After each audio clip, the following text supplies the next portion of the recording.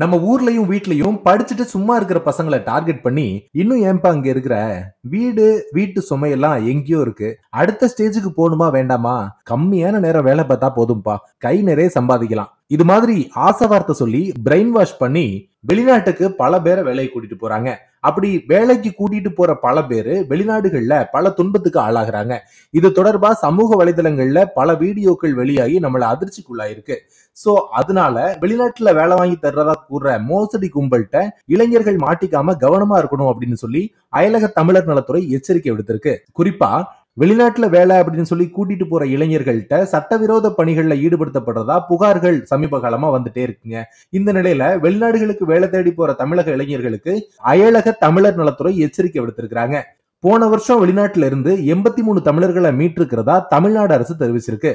Cambodia Myanmar Thailand இந்த மாதிரியான நாடுகளுக்கு ஐடி பணி அப்படின்ற பேர்ல சுற்றுலா விசால கூட்டிட்டு போய் அங்க சட்டவிரோத பணிகள்ல ஈடுபடுத்தப்படுறதாவும் எச்சரிச்சிருக்கிறாங்க. சட்டவிரோத இணையதள பணிகளை மேற்கொள்ள மறுக்கிற இளைஞர்களை கடுமையா துன்புறுத்துறதாவும் அயலக தமிழர் நலத்துறை குறிப்பிட்டிருக்காங்க.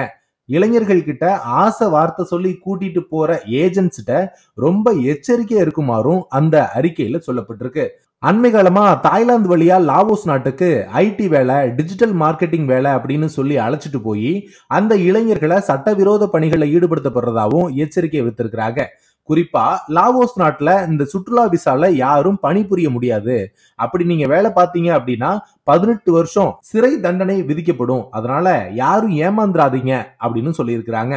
வெளிநாட்டுக்கு வேலைக்கு கூட்டிட்டு போற ஏஜென்ட் நமக்கு வேலை கொடுக்க போற கம்பெனிஸ் பத்தி முன்னாடியே நல்லா விசாரிச்சுட்டு அந்த நிறுவனத்து மேலையும் கூட்டிட்டு போற ஏஜென்ட் மேலையும் நம்பிக்கையும் நம்பகத்தன்மையும் இருந்தா மட்டும் போங்க அப்படின்னும் விசாவோட உண்மைத்தன்மை பணி ஒப்பந்தம் பற்றிய இந்திய தூதரகத்தை தொடர்பு கொண்டு கேட்டுக்கிட்டதுக்கு அப்புறம் தான் இங்க இருந்து வெளிநாட்டுக்கு வேலைக்கு போகணும் அப்படின்னும் அயலக தமிழர் நலத்துறை அறிவுறுத்தி இருக்கிறாங்க